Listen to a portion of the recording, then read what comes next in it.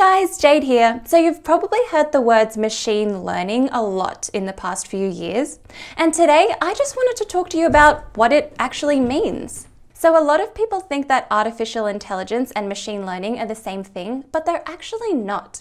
Artificial intelligence, or AI as the cool kids say, is the entire field dedicated to making machines smart.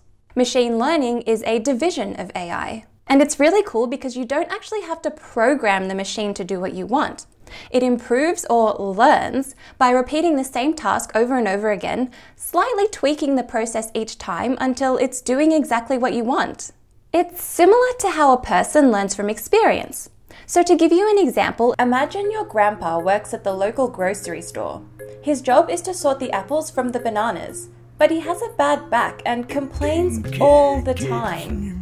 So you want to program a machine to do this job for him. The first thing you do is define some features it can use to distinguish apples from bananas. One might be colour. The redder the fruit is, the more likely it's an apple. The yellower it is, the more likely it's a banana. This is a pretty good starting point, but what if we encounter a situation like this? Obviously, colour isn't enough. We need another feature. Another good one might be hardness. The harder the fruit, the more likely it's an apple. The softer, the more likely it's a banana. We can choose a lot more features, but let's keep it at two to keep things simple. Now that we've defined some features, we need to collect some data to train our machine. So you go and get 50 apples and 50 bananas and label each one as item 1, item 2, all the way up to 100. Then you measure the colour and hardness of each one Note down mm. whether it's an apple or a banana and feed your data into the machine. Now it's time to test it out. At first, it kind of sucks. Even though it's got its two features of colour and hardness, it doesn't know how much importance, or as computer scientists say, weight, to place on each of them. The idea of weights in making a decision is probably the most central idea in machine learning, and it's something we're all familiar with. Say you're looking for a romantic partner, and two things you're looking for are intelligence and a nice smile. But maybe you place more weight on intelligence than you do on a nice smile.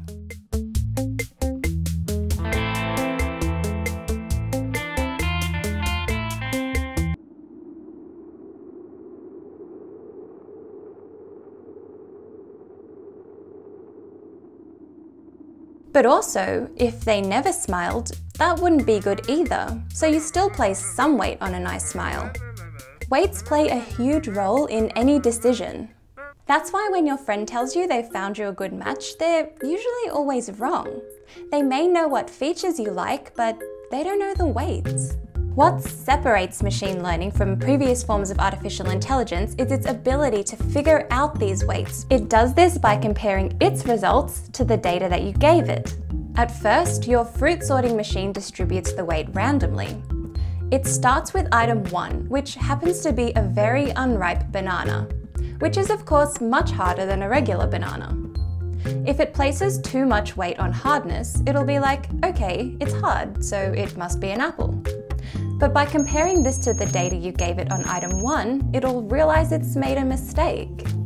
It readjusts so that less weight is placed on hardness and more weight is placed on colour. But it overshoots, and when it encounters a yellowish apple, it wrongly classifies it as a banana. But again, by comparing its results to the data you gave it, it realises its mistake and readjusts the weights again. It repeats this process of comparing and readjusting until it's barely making any mistakes. After some time, it's ready to take your grandpa's job at the local market. This example was a simplified version of what Facebook is doing when it tags you in a photo. Facebook learns your face by analysing photos which it knows are you, by measuring the size of your eyes or the length of your nose, and it uses this data to identify you in the next photo. Actually, machines are getting pretty good at this. In 2015, a robot beat a human at image recognition for the first time. And now they're developing robots that can clean your home for you. How cool is that? If you'd like to know more about how this weight adjusting process works, make sure to subscribe to Up and Atom so you don't miss my next video on neural networks. which is really where all the magic happens. So yeah, um, until next time, have a good day.